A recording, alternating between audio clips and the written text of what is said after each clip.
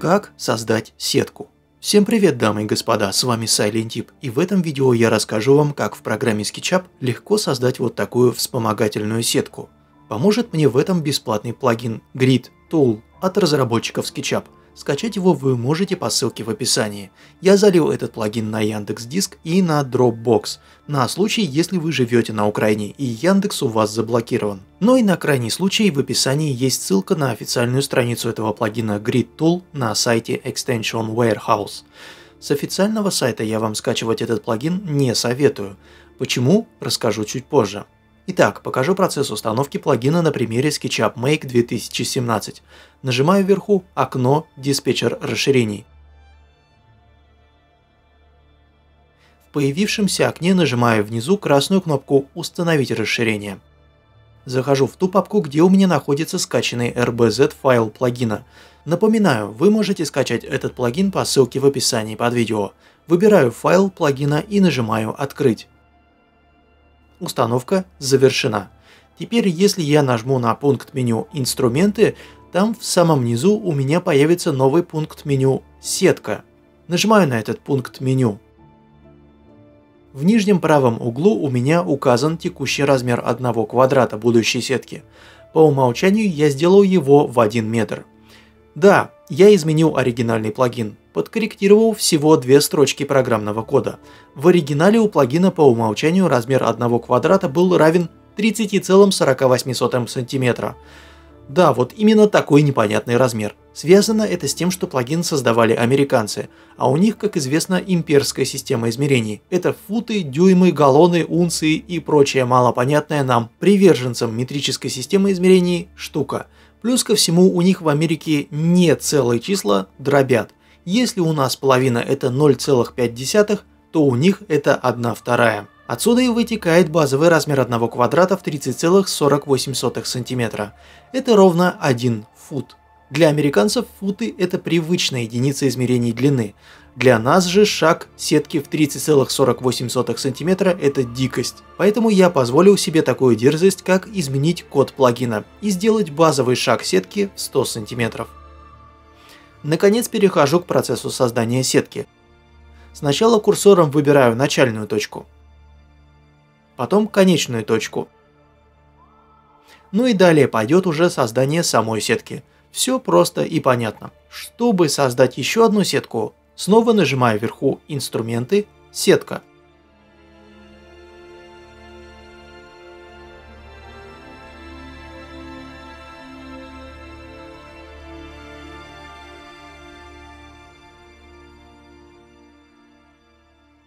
Получилось три сетки в трех плоскостях. Теперь при рисовании карандашом я могу опираться на созданную сетку.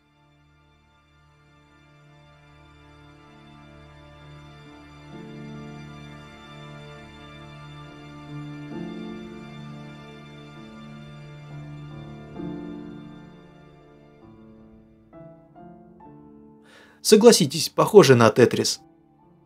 Ну и в завершении покажу вам, как меняется размер сетки – Выбираю вверху «Инструменты», «Сетка».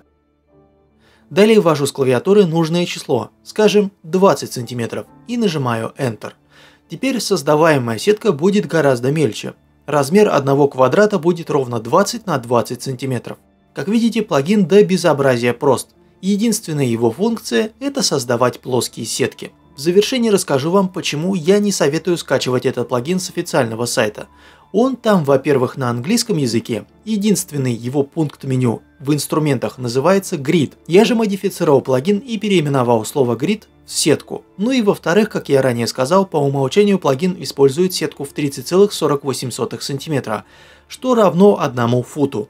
Я же модифицировал это значение в 100 см. Скачать мою модифицированную версию плагина вы можете по ссылке в описании под видео. Это Яндекс Диск либо Dropbox. На этом у меня все. Надеюсь, мне удалось объяснить вам, как в программе SketchUp создать сетку. Если хотите и дальше смотреть мои ролики, то подпишитесь на канал. Чтобы YouTube уведомлял вас о выходе новых моих видео, зайдите на главную страницу моего канала и нажмите вот на этот колокол. Перейти на главную страницу канала можно кликнув по моему нику Silent Tip Design под видео. Когда именно на моем канале выйдут новые видеоролики, вы можете узнать из специально созданного для этого календаря. Ссылка у вас на экране. Также она продублирована в описании под видео. Ну я хотел бы отдельно поблагодарить того доброго человека, что перевел мне 100 рубликов 20 мая. Ну а что касается остальных зрителей, если вы тоже желаете поддержать меня материально и имеете такую возможность, то можете это сделать. Реквизиты кошельков перечислены в описании под видео. Вы можете этого и не делать. Это добровольные пожертвования.